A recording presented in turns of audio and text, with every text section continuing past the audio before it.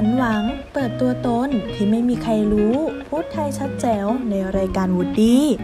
แจ็คสันหวังหรือพี่แจ็คแห่งกอดเซเว่นศิลปินชื่อดังจากเกาหลีใต้ได้มาเปิดเผยมุมมองชีวิต และเส้นทางประสบความสำเร็จในรายการของ Woody Talk พร้อมเผยมุมมองที่ไม่มีใครรู้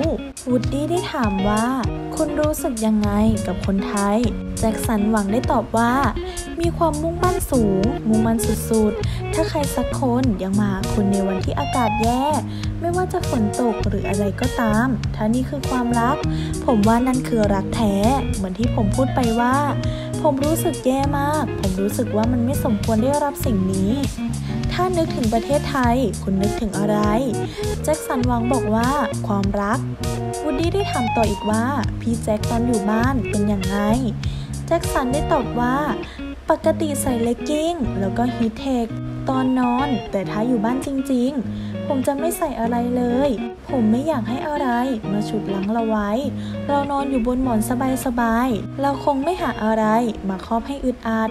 เราก็ปล่อยให้ร่างกายสบาย ก็แค่ปล่อยให้มันเป็นอิสระไปวูดดี้ได้ถามอีกว่า คุณรู้สึกผิดหวัง แจ็คสันบอกว่า ใช่ เหมือนเมื่อไม่นานมานี้เอง ผมแค่อยากทำอะไร สิ่งที่ผมอยากทำผมเหนื่อยที่ต้องทำอย่างนั้นอย่างนี้ ผมมีความฝันของผม ผมอยากทำมัน และวูดดี้ได้บอกอีกว่า